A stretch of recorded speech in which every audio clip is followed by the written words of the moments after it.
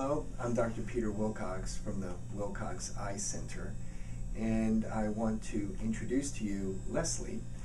And Leslie has some interesting findings uh, that are related to her central nervous system in her eyes.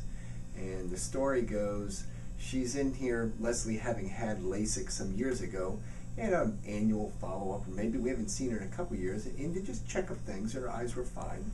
And, and I think he even said, Oh, you're boring, everything's great, it's about time to go. But I do need to look in the back of your eyes, as we do during an exam. And I looked in the back of her eyes and I said, Hmm, are you having headaches? And she looked at me and said, Why, yes. And why would you know? Or how do you know? And I looked into her eyes and uh, again, and she has swollen optic nerves. And there's there's obvious cases of what's called papilledema, then subtle cases. And when I looked in the back of her eyes, their optic nerves were a little bit swollen, and and I uh, asked her about her headaches, and she said that in fact she had recently been di- diagnosed with a, uh, a pro- problem in her brain where the brain and the spinal cord come together, where they meet rather. There was a malformation there, and they had been pursuing that recently. And that is where her problem lied um, because there's a plumbing problem and the fluid's not moving around there.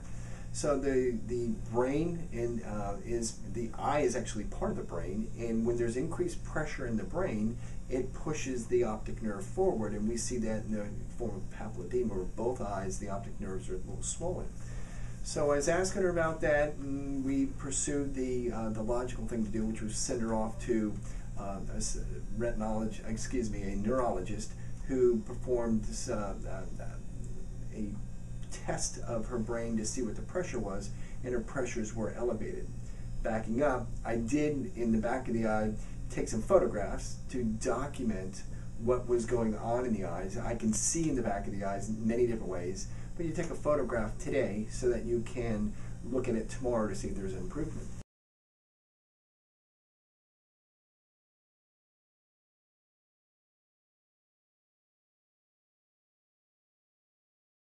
The other thing I did was we used the OCT, which is kind of like a laser that scans the back of the eye, and that's for diagnosis and for management as well. And you can see by the OCT that there's some elevations that are going on at our optic nerves. And when they had released the pressure after our visit by using a spinal tap, and they the, the pressure came down in the brain, the pressure came down in the eyes, and her vision is much improved.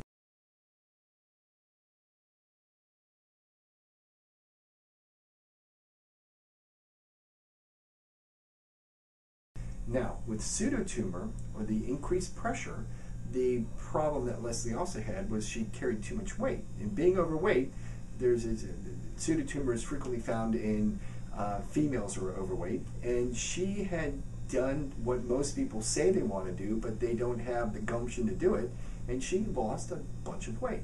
So the procedure of re removing the pressure is a temporary one because the pressure will go back up, and we applaud Leslie because she did the right thing and she lost a bunch of weight. And maybe the best thing that came out of this was I got a bottle of wine out of the deal. And if she really loved us, I think we need another bottle of wine coming up here. Mm-hmm. But you'll enjoy Leslie's story.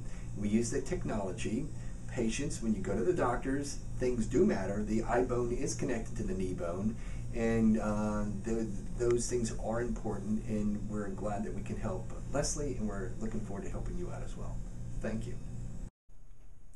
Hi, my name is Leslie, and um, I actually was diagnosed with Chiari malformation in September of 2011, and it is basically a brain malformation that causes lots of problems.